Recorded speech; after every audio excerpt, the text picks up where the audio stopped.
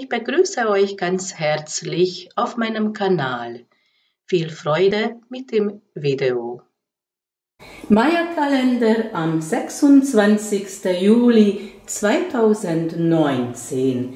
Die alte Mayas, und das war ein Hochkultur, haben ein ganz präzises Kalendersystem ausgearbeitet. Sie haben im Einklang gelebt mit der Natur, im Einklang von kosmischen Einflüssen. In diesem Kalender gibt es 20 Wellen. Eine Welle dauert 13 Tage lang. Die Zahl 20 und die Zahl 13 sind die heilige Zahlen die Mayas. Wir befinden uns im 18. Welle und es dauert bis 1. August 2019 und regiert von Ich. Das ist die Symbol dafür. Ich bedeutet göttlichen Atem. Das ist die Welle der Geist. Das ist die Welle die Gedanken, die Macht die Gedanken die Welle der Kommunikation. Es ist wichtig, unseren Gedanken, Gefühlen klären und reinigen. Es ist die Zeit für Kommunikation, ein Austausch von Informationen, anderen überzeugen von unserer Meinung oder etwas Neues lernen, untersuchen, Dokumenten ordnen, zuhören, was andere meint.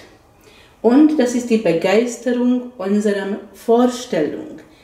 Die heutigen Tag ist der siebte Tag dieser Welle. Die Zahl 7 wurde so gezeichnet.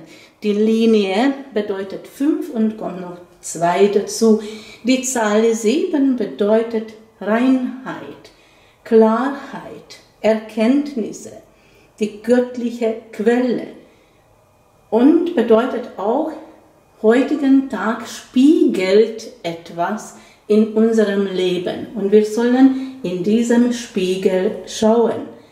Lamat hat auch so ähnliche Bedeutung. Das ist die heutige Tagesenergie. Es wird was gespiegelt, bedeutet aber auch die schöpferische Kraft, bedeutet auch Samen. All das, was wir heute aussehen, das ernten wir auch. Eine gute Zeit für Neuanfang. Lamat bedeutet übersetzt Sternen und steht in Verbindung zum Venus-Energie. All das, was Venus verkörpert, Liebe, Kunst, Kreativität und Harmonie, das verkörpert auch Lamat.